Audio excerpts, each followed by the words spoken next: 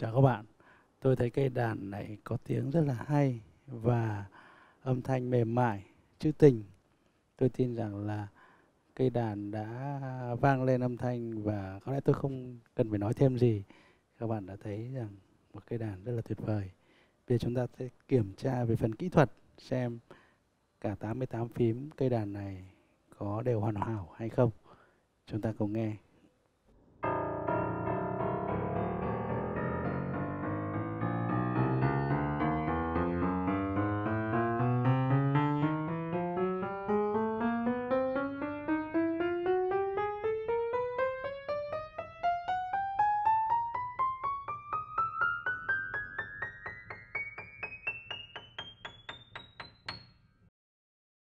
Rất tuyệt vời và hoàn hảo. Tôi tin rằng các bạn sẽ yêu nó. Tạm biệt.